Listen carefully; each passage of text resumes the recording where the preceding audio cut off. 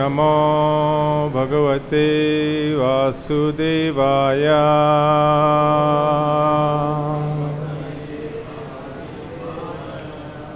ॐ नमो भगवते वासुदेवाय।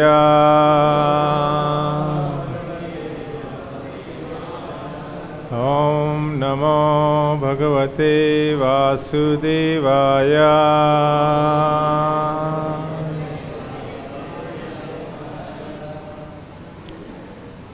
So today we are doing Canto 8, chapter 22, verse 34 to 36. I'll be reading 34 and 35 and the 36. Everyone can repeat with me. Text 34. न त्वम् अभिभवैष्यन्ति लोके सखीम् उता परे त्वच्छासु नातिगन् दैत्यं चक्रं मे सुद्ययिष्यति on the planet Sutrala, not even the predominating deities of other planets, what to speak of ordinary people, will be able to conquer you. As far as the demons are concerned, if they transgress your rule, my disc will kill them.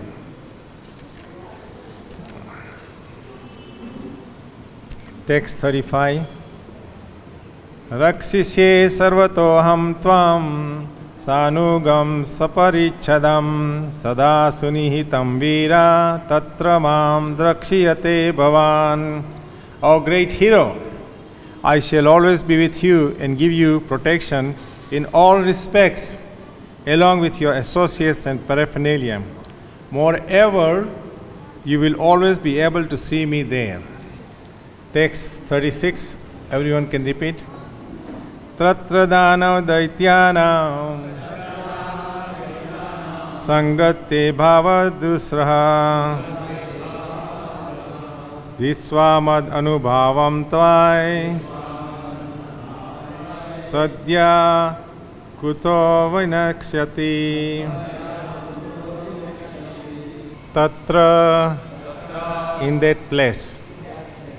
दानव दैत्यानां of the demons and the Danavas. Sangat, because of the association. Te, your. Bhava, mentality. Asuraha, demoniac. Dritsva, by observing. Mat anubhavam, my super excellent power. Why? Indeed. Sadhyaha, immediately. Kunta, anxiety. Vinakshyati, will be destroyed. Translation purport by His Divine Grace. A.C. Bhaktivedanta Swami Srila Prabhupada ki jai. Because there you will see my supreme prowess your materialistic ideas and anxieties that have arisen from your association with the demons and danavas will immediately be vanquished. Purport The Lord assured Bali Maharaj of the pro- all protection, and finally, the Lord assured him of protection from the effects of bad association with the demons. Bali Maharaj certainly became an exalted devotee, but he was somewhat anxious because his association was not purely devotional. The Supreme Personality of Godhead therefore assured him that his demoniac mentality will be annihilated. In other words, by the association of a devotee, the demoniac mentality is vanquished. Satam prasangan mama virya samvido bhavanti rita karna rasayana kathaha.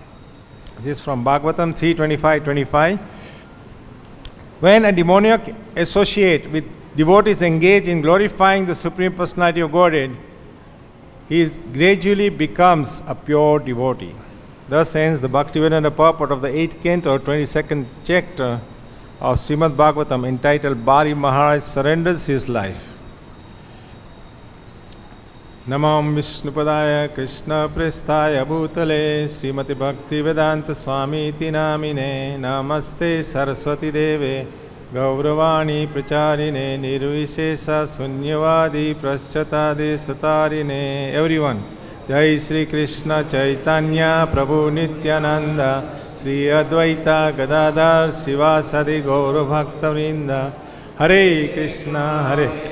Krishna Krishna Krishna Hare Hare Hare Ram Hare Ram Ram Ram Hare Hare everyone can repeat please because there you will see my supreme prowess your materialistic ideas and anxieties that have arisen from your association with the demons and danavas will immediately be vanquished.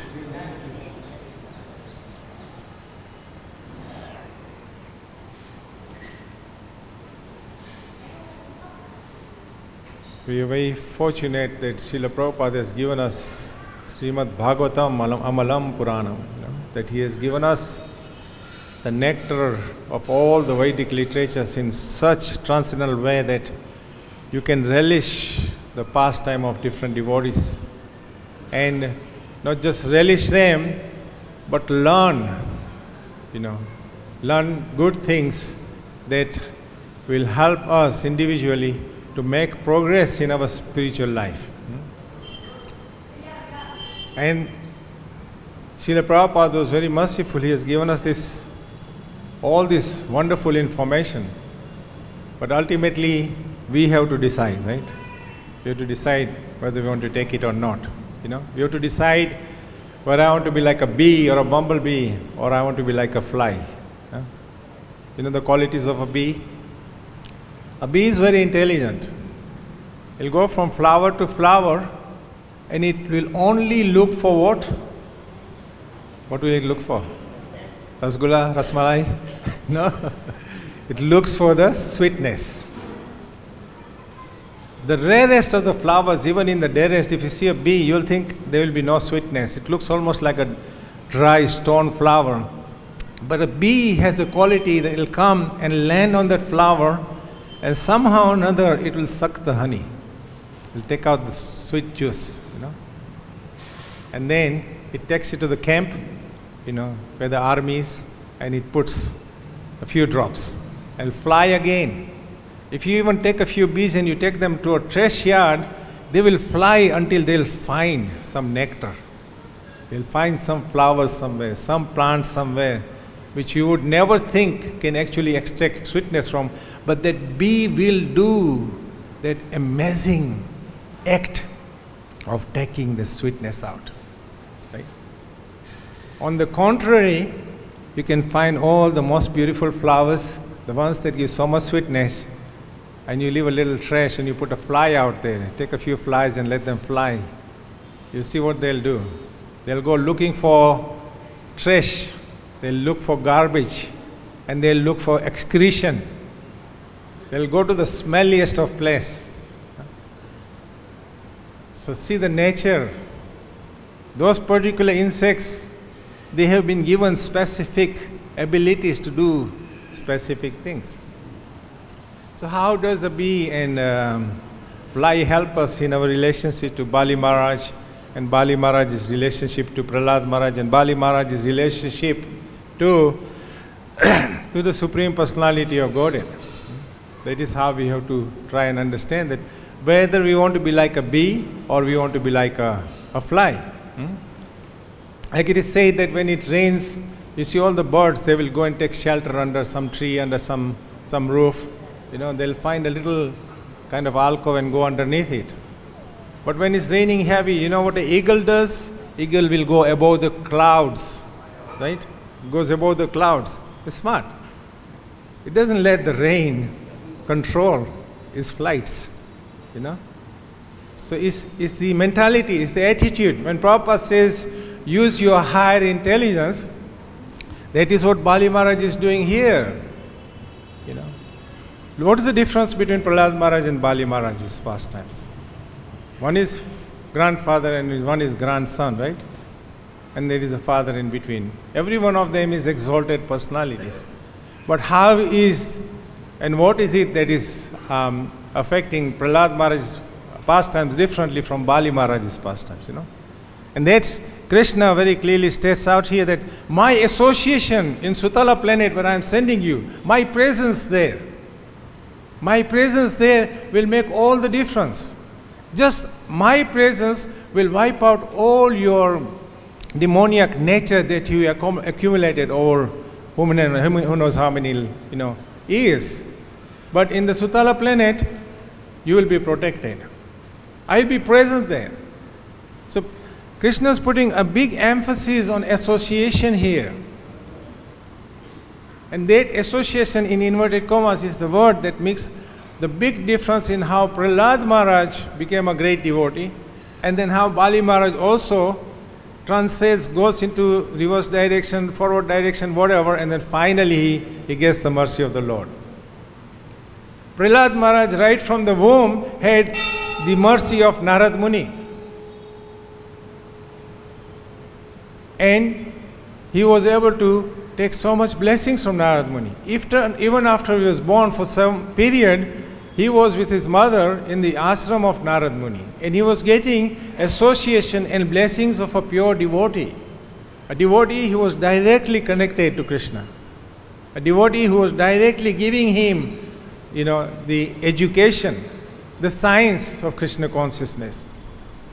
Therefore, Prahlad Maharaj was able to seek Krishna present in everything. When he was being thrown into the ocean, he was thinking, oh, this is Svetadip. You know?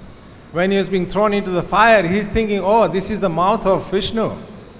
We do yajna, right? And the yajna, you do fire, and then you offer oblations, and through that fire, Krishna is receiving, you know, all the oblations. So Prahlad Maharaj thinking, wonderful.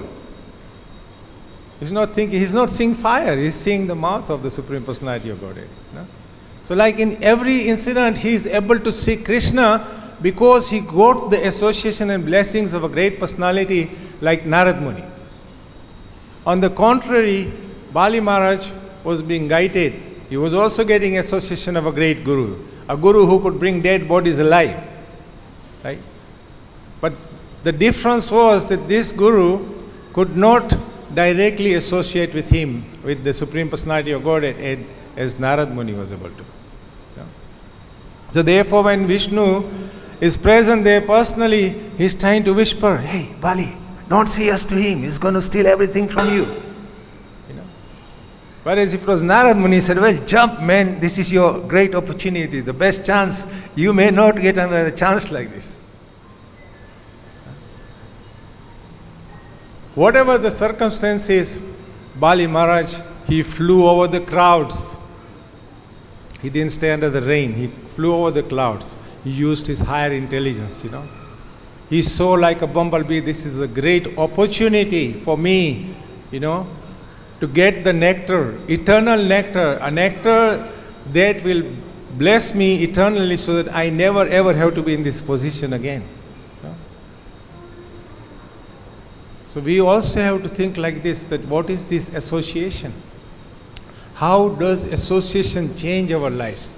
I'm sure that if we ask each one and every one of you in this room, you will give some incident, some past times, something that happened, how you met a devotee, how you got a book, something happened, and you're being slapped by Maya left, right, and center, and you are not conscious of that until some connection came up. Like I, two, two examples that come to my mind is when I was at Bhaktivedanta Manor, we had this young couple, and the wife used to come, she started coming to the temple because she read Bhagavad Gita and then she started coming to the temple. But the husband was not so happy. So when he found out, he would turn up at Bhaktivedanta Manor with a little stick, like you know, people carry the sticks here to keep the monkeys away. so he would come with a stick and chase his wife and chase her to the car and take her home. And this was uh, their lila going on almost every Sunday. And every Sunday, some devotees would have to intervene and stop him and ask them to leave peacefully. Then finally, one Sunday I was asked to approach the husband and I requested him that please, just for once, just for once, why don't you come and sit where your wife is sitting? Just for once. If you like it, great. If you don't like it, we will not encourage you or your wife to come again. But at least just once, please come. You know, just a humble approach. And though he was like Jwalamukhi, his, his stick in his hand and he was angry, but somehow or another, because of the humble approach, he decided to come and listen to the Bhagavad Gita class.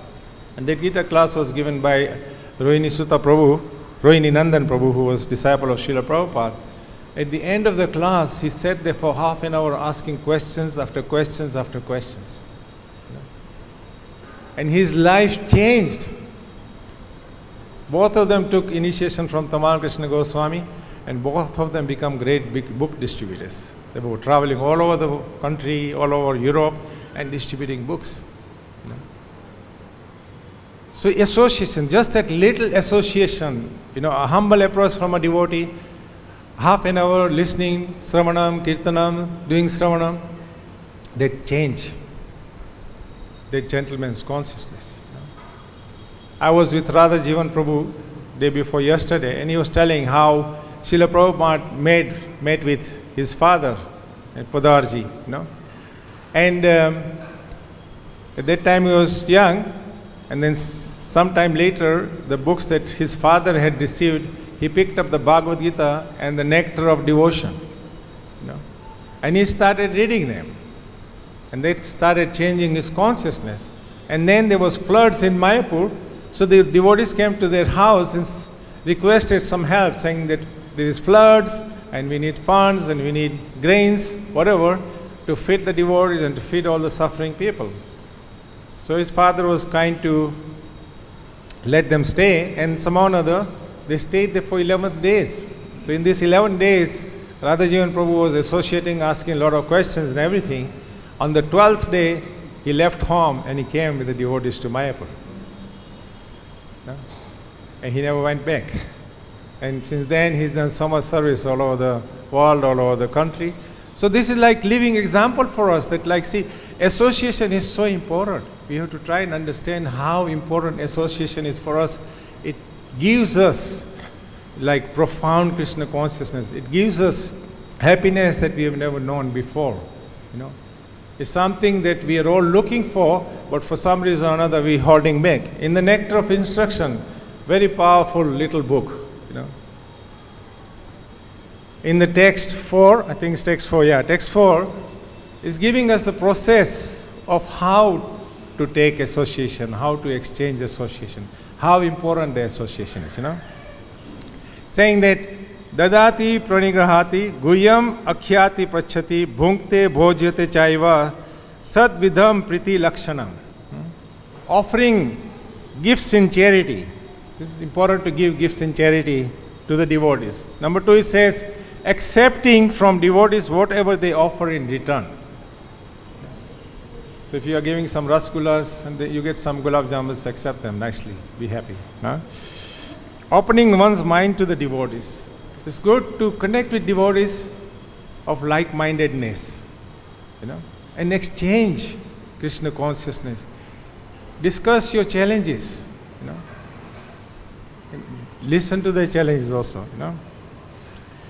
Inquiring from them about confidential service to the Lord.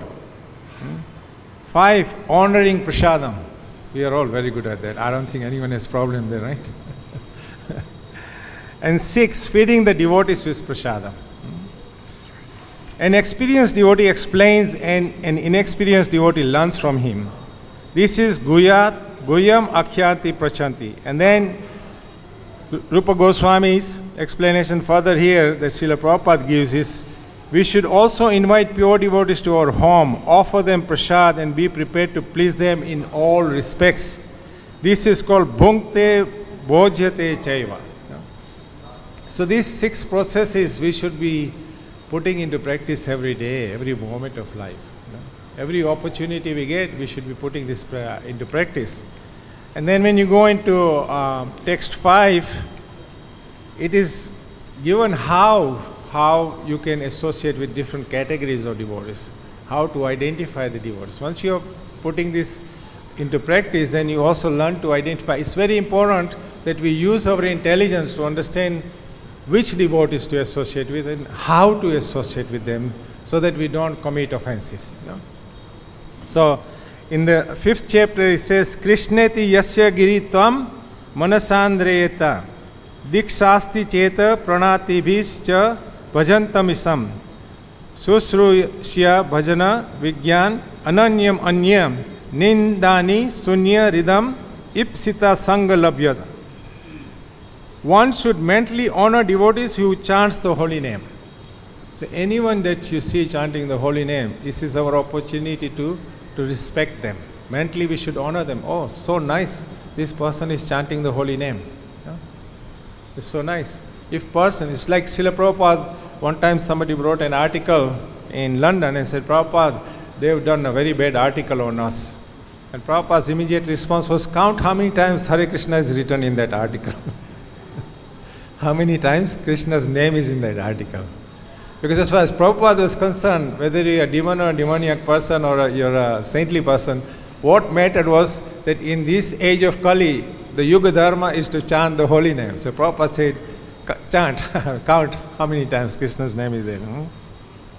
The second uh, group, that is, one should offer humble obeisances to devotees who has gone spiritual who has taken spiritual initiation diksha and is engaged in worshipping the deity. And one should associate with faithfully and serve that pure devotee who is advanced in undeviated devotional service and whose heart is completely devoid of proprietorship to criticize others. Such nice, you know, uh, guidance and instructions given us to us by Rupa Goswami. And if we can practice this, uh, this uh, um, guidance that we are getting here, it can make so much difference in our lives, you know. Practice these things and regularly check yourself. Where do you stand? Where do I stand in my devotional life? Where do I really stand? You know? Then how do you judge that? How do you make that decision? So when you see advanced devotees, devotees who are making progress, are you happy to see them being happy? Are you happy to see them making progress? No? That's an indication. If you are happy, that means you are making progress because you are like being a bumblebee or like being a bee and you are seeing the nectar popping out. You know? If you're like a fly, then you will default and you will become envious. Oh, he's able to do such nice kirtans. Oh, he's able to preach to so many people. Oh, he's able to make so many devotees, you know. But rather, he's able to do that. How can I also learn from that person to do all those things and acquire those qualities? That's a check, a self check you can do like that. And furthermore, Bhaktivinoda Thakur says that sometimes if you are envious of somebody, Sometimes, if you are envious of somebody, then go and glorify that person. Especially if that person is a good devotee, go and glorify that person, and then you should also pray to Krishna at the same time that there are anarthas inside me. Please help me to remove those thorns out of my heart. Ask, pray. Chanting is also praying. We have to pray. When we come in front of the deities every day, we should pray that please bless me so that I can cleanse the mirror of my heart. I can remove the thorns so that a nice Vyasasan is created for Krishna who is also seated in there. No? That is how you can check yourself. We have so many instructions, so much guidance, you know. The Goswamis, our acharyas, they are crying for association of Vaishnavas, you know. Like you sing, Oh Hey Vaishnava Thakura, the entire bhajan there is, you know, a cry out by the, the Goswamis or in the Saranagati mood. They, they are calling out, you know. Amito Kangala, Krishna Krishna Boli, you know. I am so fallen. Please help me, please guide me. Another bhajan in the Saranagati is saying, Kandiya, Kandiya, you know, I'm so fallen. Please, Krishna, save me. You know. We have to develop that mood. When we develop that mood, or at least we persist, at least we endeavor, then there is hope for us. There is hope for us. These acharyas who have written these bhajans, whether it's Bhaktivinoda Thakur, Narottam Das Thakur, if you look at their pastimes, how much tapasya they performed, how much austerities they went through. Sanatan Goswami, Rupa Goswami, when they came here, there was no Krishna Balaram temple. Radhakund, Shyamkund were little ponds. Giriraj was covered with bushes. How much tapasya they performed living in this environment. You know? There was no 9 o'clock, 3 o'clock, 5 o'clock, prasadam, ekadashi prasadam. These are the personalities who perform so much tapasya for our benefit. And when they are giving us this realization, this realization has come after many, many, many years of tapasya. And their realization is what they're giving to us in the form of the bhajans. So it's nice, we should all sing the bhajans, but we should endeavor to understand the bhajan. And then by understanding, we should also learn to implement those practices. Hmm? I am associating this person, this is Kanista Adhikari. I am associating with this person, this is Madhyam Adhikari. I am associating with this person, this is Uttam Adhikari. What do I do with the Kanista Adhikari? What do I do with the Madhyam Adhikari? How do I serve the Uttam Adhikari? So that I can get the maximum you know, benefit, I can get the maximum blessings without committing any offenses.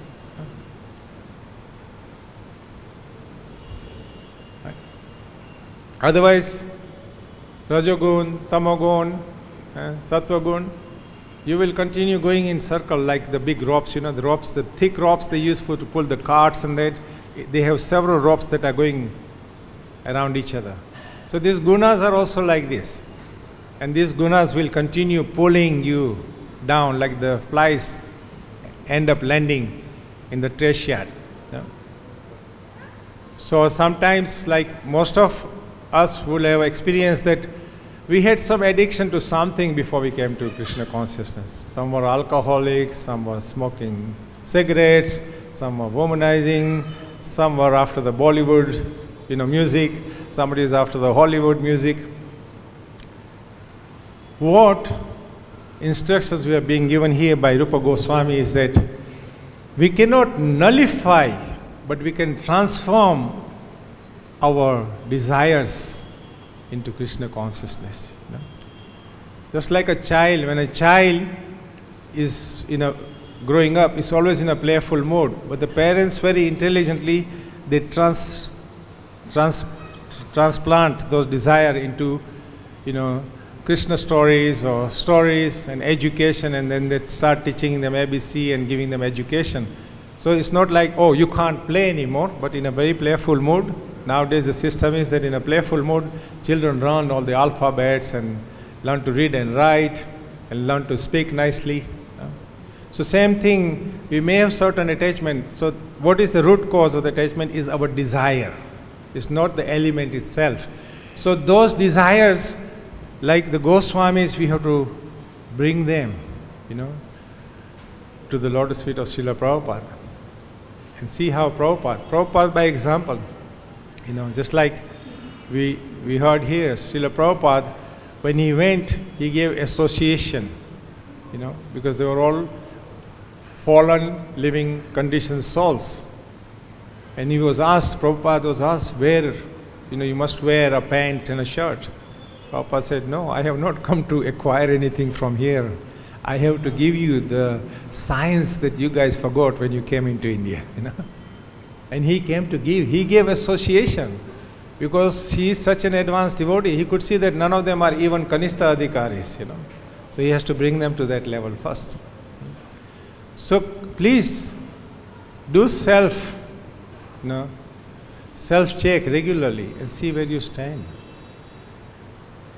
Memorize this book upside down. Such nice things are given in here, you know. Just that's all you need. Shikshashtakam prayers in Rupa Goswami's NOI. you know. and then you'll see how fast you make rapid advancement in your Krishna consciousness. you know. See Narad Muni's association with Prahlad Maharaj and look at Bali Maharaj's association with, with uh, Sukracharya and then see how Bali Maharaj uses his higher intelligence and this higher intelligence is helping him to the level where the Lord becomes the gatekeeper for several months, you know. So this is wonderful pastimes here and there is so much to learn and every time we look at the pastime we should see how either Rupa Goswami, Sanatan Goswami are directing us from that pastimes as to what we can do and how we can implement, you know, certain processes so that we can also make progress and then we can also aim to go to Golokdham. You know, you have a choice. You can act like Bali Maharaj and end up in Sutala Loka, or you can follow guidance of Srila Prabhupada and go to Golokdham. Thank you so much. If there is any questions or comments, it's your opportunity. Rajavidya. next. Hare Krishna. Hare Krishna Prabhu. You were giving example of that uh, devotees devotees in their houses. Yes. There are more than thousands of devotees they have staying in the houses. And out of them, how many of them they are inviting devotees? Hare Krishna. Very nice question. That thousands of devotees are there. Actually, even in Vrindavan, there is more than thousand families. What to speak of Delhi and other parts of the world. The intelligent ones, the intelligent ones who have been taking association, who have been listening to Bhagavatam class, who have been listening to the spiritual master's instructions, then those who listen to Prabhupada's class, I always encourage devotees that listen to Prabhupada's class once a day at least. If you can do it three times, great. His classes, there are shorts of things on YouTube you listen to that, that gives you inspiration so that you will follow this kind of guidelines that invite devotees to your house, take prasadam and go to their house when you are invited. This is a nice way of exchanging association and we understand that sadhu sangha is very important. When we exchange association, then we also make advancement. So I, I can understand there are many who are doing that. And I'm sure also there are many who are not doing. So those who are not doing, they may be at Kanishtha-adhikari level, and we have to go. Those who of us who are aware, we have to go out of our way. And then, like as we do in outreach preaching, whether it's Namahatta Life Membership, Visma program, somehow or other devotees are always reaching out. And they're reaching out to the congregation members who have not even taken initiation. We do programs in their homes and we encourage them, please invite your friends, you know. And then when you end up going to those programs, then you find out in a short period of time, many people start chanting. In a short period of time, people start showing up. People start joining, you know, the movement, taking initiation. You know, so this is wonderful. This, like if you look in Delhi, there's 17 temples. There's competition going on as to how many congregation members are are initiated. How many of them are going out on Harinam? How many of them are doing book distribution? You know, it's very very powerful tool. Okay. Your question? Anyone else? Any comments? Thank you all very much ग्रंथरा Srimad Bhagavatam की शिल प्रभुपाद की मिताई गौर प्रेमनंदी